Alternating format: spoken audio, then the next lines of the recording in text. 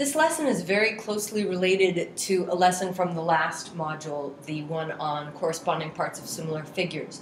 Um, and we're using indirect measurement, you see, is defined.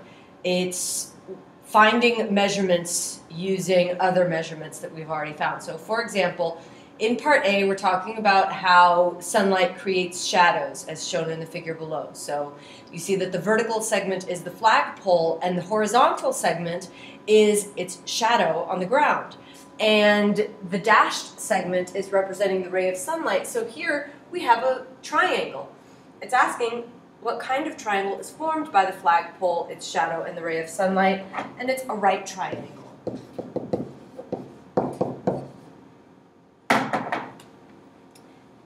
if the sun is shining and we are standing near a flagpole but out of its shadow, we will cast a shadow as well. And we can assume that the rays of the sun are parallel, so what do we know about the two triangles formed? Well, we already know that they have one pair of congruent angles, the right angles, and if we consider these parallel lines being cut by this transversal that is the ground, then we have these corresponding angles being congruent. So,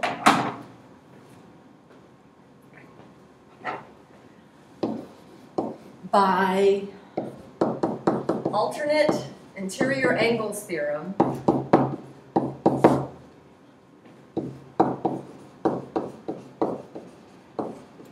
and angle-angle similarity, the triangles are similar.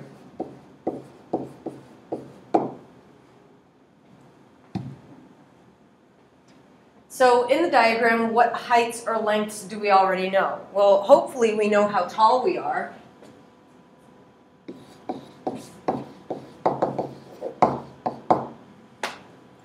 Um, what heights or lengths can be measured directly? we should be able to very easily measure the lengths of the shadows.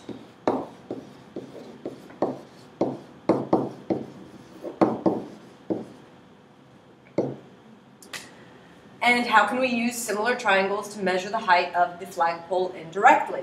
Since the triangles are similar,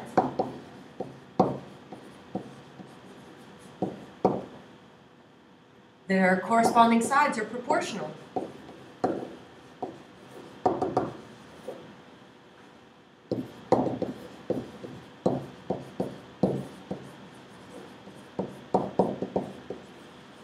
So, my shadow over my height would equal the flag's shadow, or the flagpole's shadow,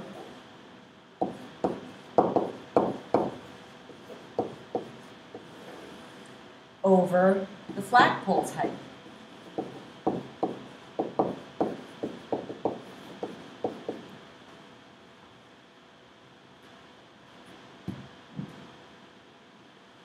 So let's use this line of thinking to indirectly find a measurement. So we have triangle XYZ and triangle ABC. The length of AB is representing the height of a palm tree. The length of XY is a meter stick. And notice how they have AB is to XY equal to BC over YZ. They've substituted the values in, and then they solve for the missing variable.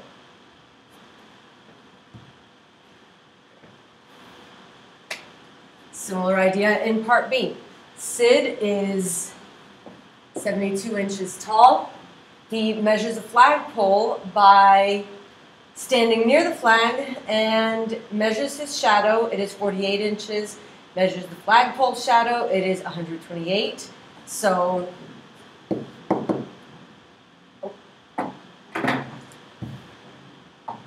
So they've got the proportion set up in a little bit of a different manner but it is an equivalent proportion. So they've got the flagpole's height over the person's height equals the flagpole's shadow over the person's shadow.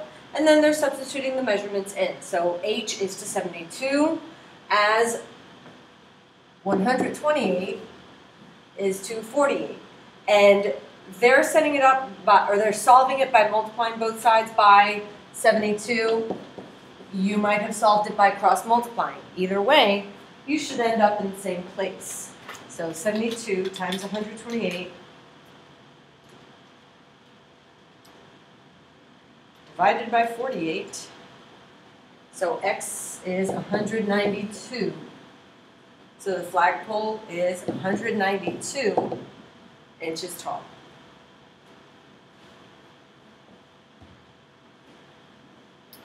In this example, Liam is six feet tall. He found his shadow to be eight feet long. He wants to find the height of a tree whose shadow is 28 feet long. So 6 over h will equal 8 over 28. Cross multiply and solve, I've got 8h equal to 6 times 28, which is 168. Divide both sides by 8, and h is 21. So the height of the tree is 21 feet.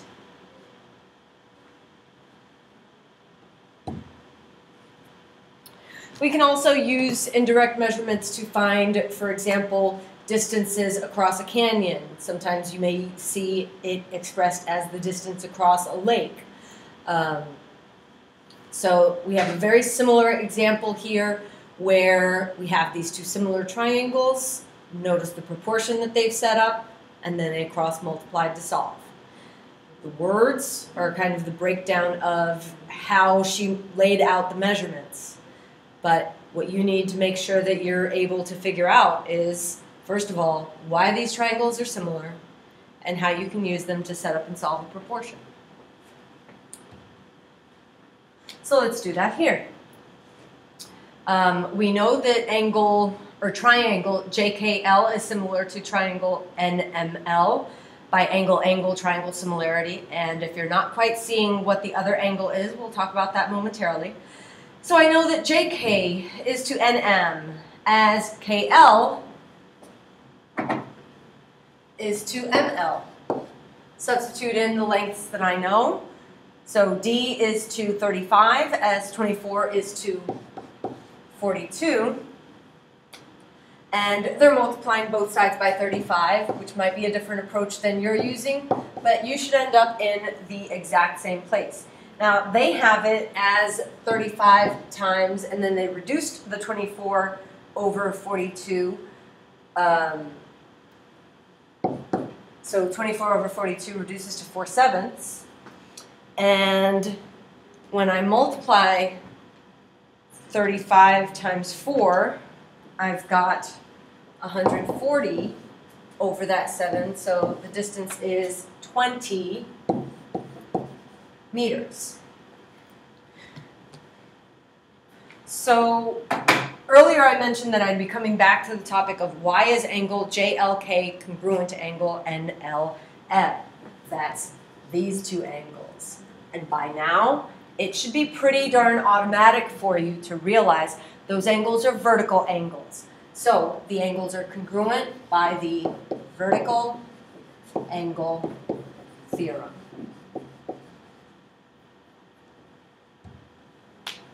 Pause your video to work through the your turn below.